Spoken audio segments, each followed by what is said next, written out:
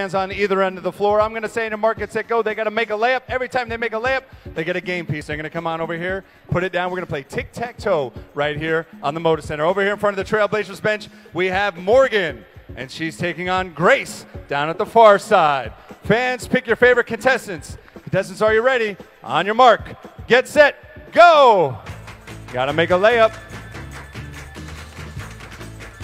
Oh boy. Now, if for some reason we have no one that can make a layup, or we're tied at the end of the game, whoever has the most game pieces on our game board will be our winner. All right, Morgan's got one. Here goes Grace.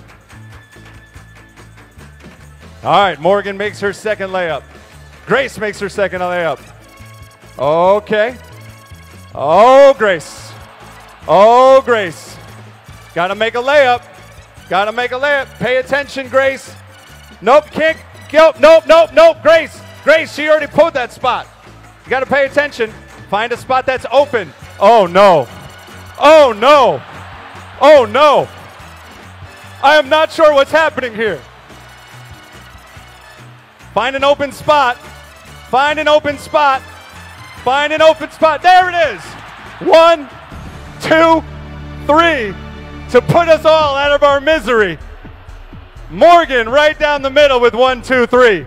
Try as she might. Grace didn't block her. Congratulations to Morgan and Grace, tonight's Wells Fargo tic tac toe contestants. All right, fans, you'll remember that for a while.